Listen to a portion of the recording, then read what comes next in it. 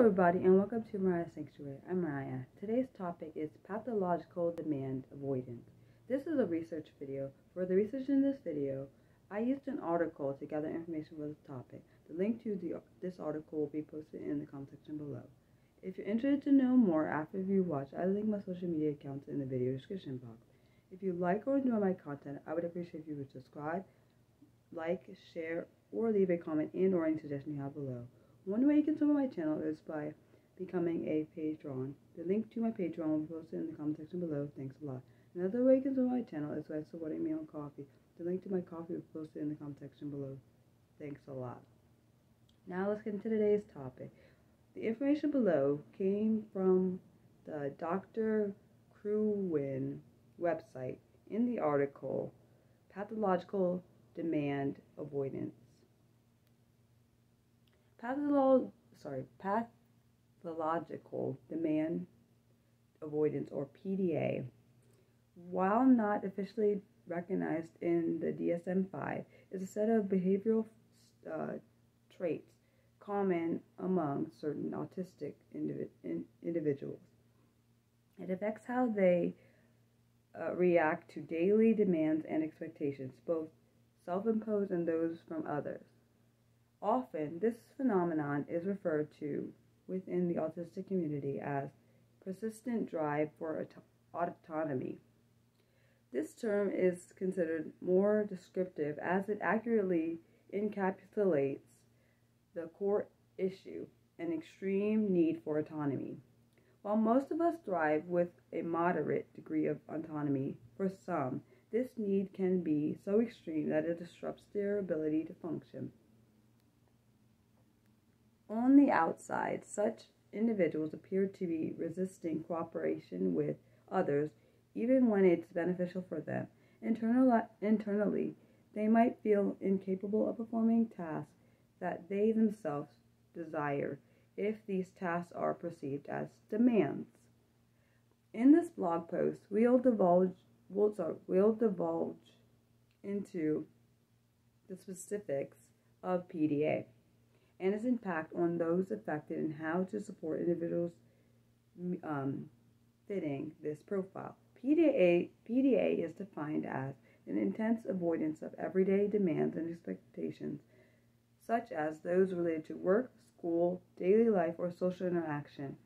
It's an extreme anxiety driven desire to maintain control over one's own life.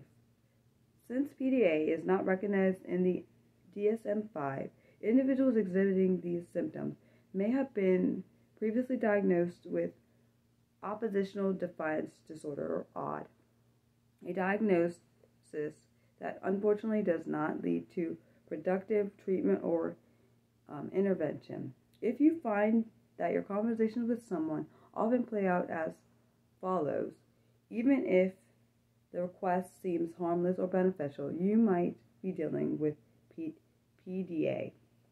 You. Do you want to? Them. No.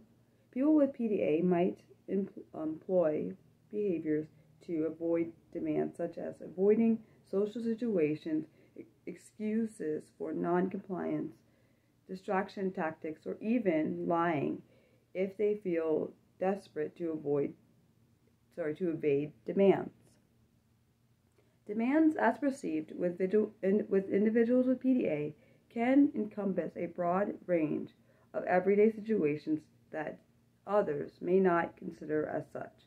Some examples include simple requests following routines set by others, social expectations, academic or work related tasks, and personal care activities. It's crucial to understand that what appears to be ordinary to be ordinary situations for most can feel overwhelming and anxiety inducing for people with PDA. PDA can significantly influence the daily lives of those ex- sorry, influence those the daily lives of those affected. They may experience high levels of anxiety and stress, difficulty with cooperation, social challenges, emotional regulation, regul- sorry, regulation difficulties, rigidity, inflexibility, and even engaging in masking or camouflaging behaviors. The impact of PDA can vary greatly from person to person, each with a unique profile of strengths and challenges. Understanding and supporting the their unique needs and um, and perspectives are crucial in providing appropriate support and accommodations. Supporting an, an adult with PDA starts with understanding their behavior is not a choice. Biologically, psycholo- psychologically, and sometimes genetic factors contributed to the observed behaviors. When you believe that the problematic behaviors are not intentional, it changes your approach. Building a, build a relationship. Most people with PDA often feel misunderstood. Trust and mutual respect are critical in supporting, in providing support. Connect with them by showing genuine interest in their inter- sorry, showing genuine interest in their interests, dislikes, passions, and aspirations. Gain permission to help first. And gain permission before offering help or creating a plan for goal achievement. Learn how to use declarative language.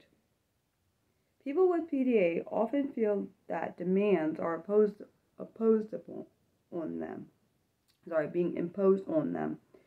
The key to engaging them in co- constructive com- co- conversation is to learn how to use declarative language, which makes them feel competent and understand rather sorry and understood rather than opposed upon.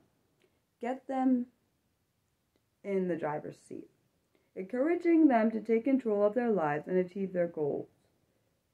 Imposing your goals on someone with PDA is not a winning strategy. Support um, sorry, support executive function challenges. If you if they struggle with executive functioning, help them decide their priorities, create a plan, figure out the next steps, and keep the momentum going. Being patient and flexible. Patience and flexibility are crucial when dealing with someone with PDA. Extend gen- gentle, shame free accountability when they are not feeling overwhelmed with anxiety. If it seems like they can never have a conversation, it may be it may be time to seek professional help. And final thoughts. PDA PDA is not a relatively unknown profile. Sorry, is a relatively let me say that again. Final thoughts. PDA is a relative unknown profile that describes a subset of autistic people significantly affecting their daily lives. By providing understanding and support, we can help individuals with PDA live fulfilling and meaningful lives. I hope this video helps someone. As some of you may know, I have problems with pronunciation, which is because I'm dyslexic, autistic, and an ADHDer. I don't try to hide this because I want people who have similar struggles to know that they aren't alone. No matter how hard pronouncing some words will be, I will always try my best. You, those are the reasons I leave my mistakes in these videos. I'm always as always, I'm open to any suggestions you have for any future video topics. Please let me know what they are in the comment section below or on my Twitter page, and my Twitter handle is at Burley. I'll spell it for you. It's spelled, my last name is spelled B U R L E Y, my first name is spelled M A R I A H. The next video will be on the topic of Gilbert syndrome, and that will be available on my Patreon on Wednesday, October 30th at 6 p.m. Eastern and available on my YouTube channel on Saturday, November 2nd at 6 p.m. Eastern. I hope everyone's continuing to stay safe. I'll post my notes in the comment section for anyone who needs them. Feel free to share this video with anyone you think might benefit from watching it.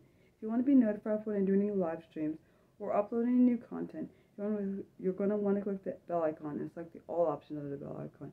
Thanks for watching. Love you guys. Bye.